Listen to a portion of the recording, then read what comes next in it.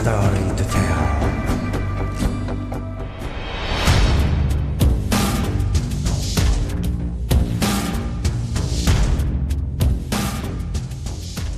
We will continue to be fourth and fifth generation fleet tower until 2030, with both Harriers going to probably 2028 and F-18s going to 2030-2031. Lieutenant General Steven R. Rudder spoke on April 4, 2019. Thus, the US will continue to maintain the nightmare AV-8B for the Marines for at least 9 more years. This information is said to be quite surprising because the Department of Defense and the US Marines have repeatedly announced plans to eliminate this aircraft line. The USMC earlier had extended the Harrier planned service to 2026 in view of delays of the F-35B.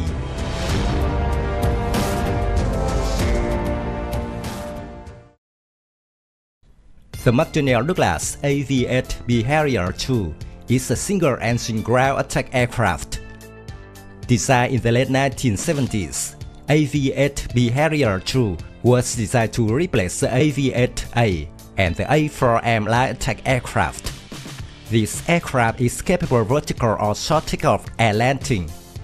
It is primarily used for light attack missions or multitasking air support for ground forces or armed reconnaissance. Combining tactical mobility, responsiveness, reduced operating cost, and basing flexibility, both afloat and ashore, AV-8B Harrier II is particularly well suited to the special combat and expeditionary requirements of the Marine Corps. The AV-8B II features the APG-65 radar common to the FA-18 as well as on previous systems. The AV-8B is widely used in the US Marine Corps, the Spanish Navy, and the Italian Navy.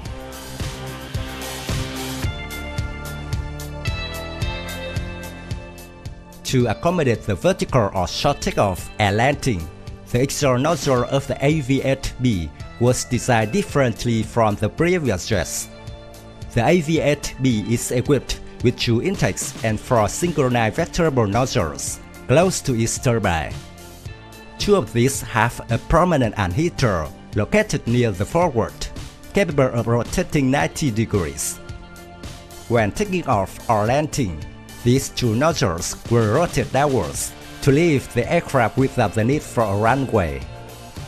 Despite having four exhaust nozzles, in fact, the AV-8B has only a single engine, the Rolls-Royce Pegasus F402, providing 105 kN of thrust.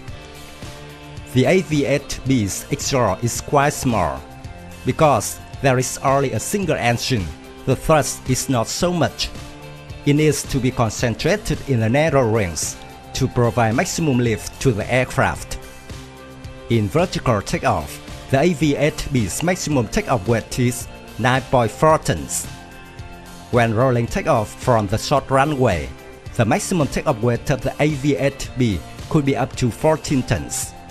However, no matter how much payload, this aircraft also only has subsonic speed Mach 0.9.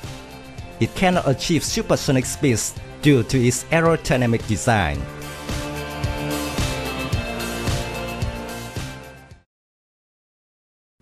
The AV-8B Harrier II is famous for being the most crashed aircraft in the US military. The complex operation mechanism makes this aircraft often crashes when vertical takeoff and landing.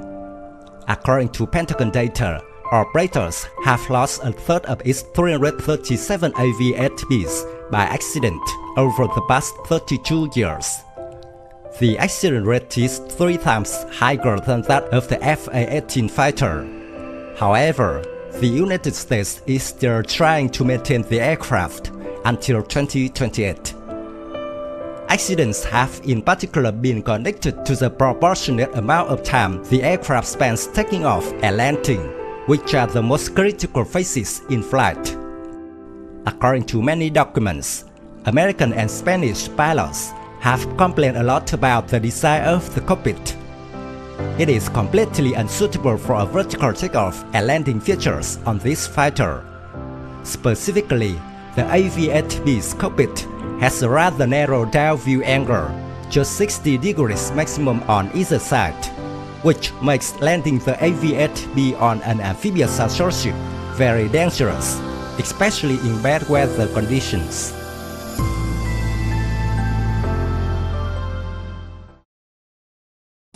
The United States had a plan to replace all AV-8B Harriers with F-35B fighters. However, due to numerous problems with the development of the fifth generation F-35B, the Americans continued to extend service time to the AV-8B Harrier. With the F-35B already in service, the performance is not really outstanding. According to the US operational test and evaluation, based on a series of research results on all three versions of the F-35A, B, and C. The combat readiness level of the F-35A and F-35B reached 18%. Meanwhile, this intake with the F-35C is much lower. Based on this result, operational tests and evaluation confirm that the current F-35 fighter cannot participate in a high-intensity war. They can only carry out airstrikes against terrorists or rebels in certain battlefields, such as the Middle East.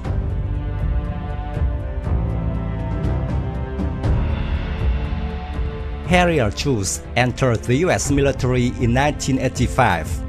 In order to extend their service life, the Marine Corps have made a series of ambitious upgrades to the AV-8B Software upgrades will allow the Harrier to fire advanced precision kill weapon system, laser-guided rockets, and GPS-guided joint standoff weapon glide bombs.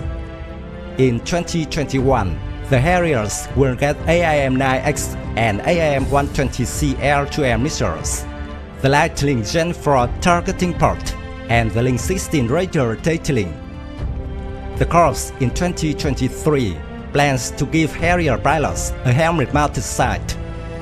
The Jumpjets the same year will get a new satellite communication system.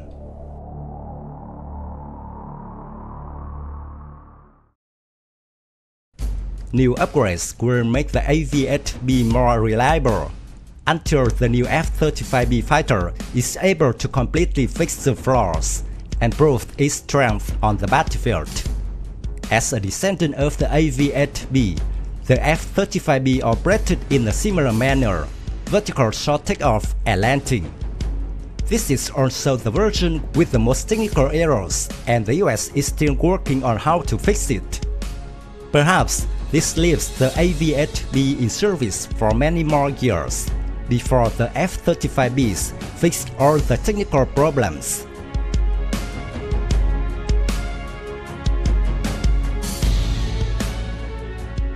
My video of the AV-8B Harrier 2 ends here.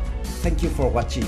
If you find this video interesting, please give me your thumbs up.